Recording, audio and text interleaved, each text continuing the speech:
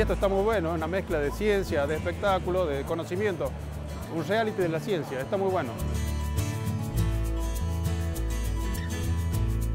Que vengan a muestras de estas en la provincia me parece buenísimo porque hasta yo vivo acá ya hace bastante tiempo y no recuerdo haber venido a una muestra tan grande como esta.